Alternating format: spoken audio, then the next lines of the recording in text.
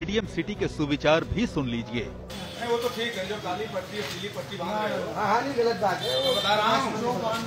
उनको कह पाकिस्तान फ्यूचर काला होने में ना लगेगा सेकंड डबल के एक सेकंड हाँ सब कुछ काला। पट्टी नहीं ज़िंदगी नहीं काली इतना ही है।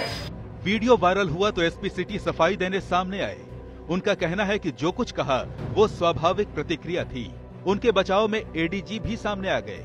तो एक गली में सूचना मिली, हमें रेडियम सिटी से कुछ फोर्स हमारे साथ था कि वहाँ पर कुछ लड़के उत्पाद करने के चक्कर में थे, उस दिन काफ़ी बवाल चल रहा था। लड़कों के लिए कहा गया कि ये गली, क्योंकि उसी गली से आए थे तो वो गली हमने याद किया कि इस तरीके का वांछनीय तत्व इसमें रहते हैं। मैंने कहा कि अगर इस तरीके की बातें आप करते हो तो जहाँ का तुमको जहाँ ज़्यादा पसंद है, फिर वहीं जाओ।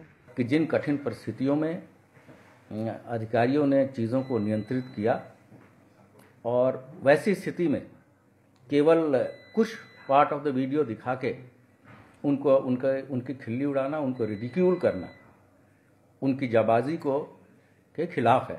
पुलिस के आला अधिकारी अपने कुनबे का बचाव कर रहे हैं लेकिन इस पर सियासत गर्म हो गई है।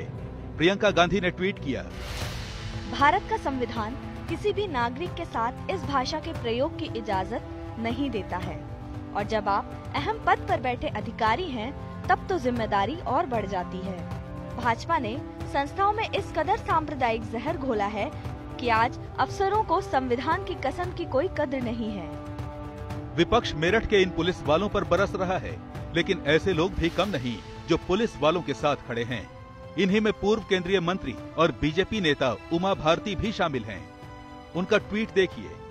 मेरठ के एसपी सिटी अखिलेश नारायण सिंह का पाकिस्तान जिंदाबाद के नारे लगा रहे पुलिस को माँ बहनों की गालियाँ दे रहे पत्थर फेंक रहे, आगजनी कर रहे, दंगाइयों से यह कहना कि तुम पाकिस्तान चले जाओ, एक स्वाभाविक प्रक्रिया है। राहुल गांधी और प्रियंका गांधी इसको राजनीतिक मुद्दा बनाते समय यह मानवीय पक्ष भूल रहे हैं कि पुलिस वालों के भी परिवार होते हैं, तथा देशभक्ति का जज्बा उनमें प्रबल होता है। ऐसे में इसको राजनीतिक मुद्दा बनाना इन दोनों भाई बहनों की घिनौनी साजिश है। ऐसी सरपरस्ती को सलाम है। लेकिन बड़ा सवाल ये है कि खराब से खराब स्थिति में भी क्या एक पुलिस अधिकारी को ऐसी भाषा बोलने की अनुमति मिल सकती है? क्या ऐसी बातों से हालात और नहीं बिगड़ेंगे?